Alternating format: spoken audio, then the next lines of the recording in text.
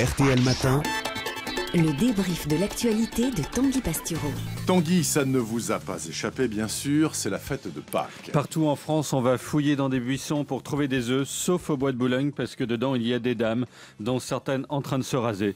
Rien qu'à Paris, la ville des étrons de chiens et des particules fines, plusieurs chasses sont organisées. À courir ainsi après l'œuf, on a des vies de spermatozoïdes.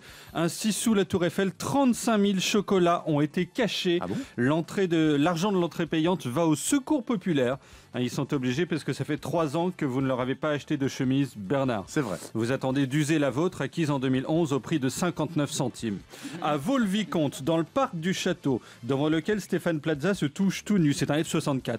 120 000 œufs sont dissimulés dans le jardin de Le Nôtre. C'est lui qui a inspiré les coupes actuelles des footballeurs.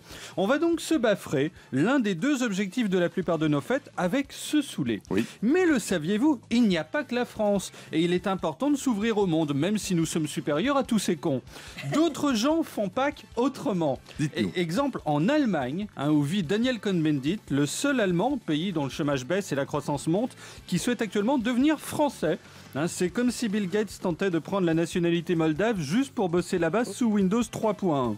En Allemagne, donc, on accroche les chocolats dans les arbres. Franck Ribéry à Munich tourne sous un pain en se demandant comment ils ont fait pour pousser là.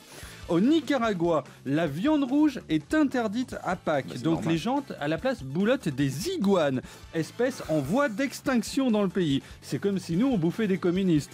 Un Pierre Laurent fourré en slip dans un gros pain. Au Salvador, toujours en Amérique centrale, ça va même un peu plus loin. Oui, puisque des types déguisés en diable, de quoi faire convulser Christine Boutin, filent des coups de fouet aux passants. Donc vous sortez acheter des pépitos au franc prix, vous vous retrouvez dans 50 nuances de grès. C'est censé symboliser la lutte de Jésus contre la tentation, pourtant inexistante à son époque, puisque les femmes ne s'épilaient pas.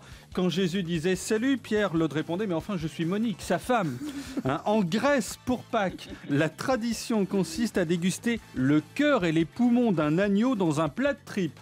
Chez nous, ça c'est une épreuve de Colanta. Aux Philippines, des gonzes un peu excessifs hein, se font même crucifier en vrai Oui. avec des clous. Hein, Là-bas, à Castorama, il y a les fiches conseils poser son carrelage, rénover sa salle de bain et donc crucifier un ami. En Roumanie, on éclate un œuf sur son voisin, sauf s'il est philippin d'origine parce qu'il est tout en haut d'une croix en train de saigner. Enfin, en Australie, le lapin a une connotation négative Oui. puisqu'il prolifère, hein, il s'accouple toute la journée comme les ados chez nous, enfin sans l'odeur. Il a donc été remplacé par le bilby, un marsupial à long pif et grandes oreilles. Quand le prince William en voyage envoie un, il dit Salut papa Euh, Bilby qui est en voie d'extinction, autrement dit au Nicaragua, il le mangeait en sauce. Donc tout est en voie d'extinction, si j'ai bien compris. Ah bah grosso modo, oui quand Le même. bilby, l'iguane, tout ça. Merci beaucoup Tanguy Pastureau pour ce tour de monde des autres pratiques pascales. Vous revenez dans une heure avec un autre thème.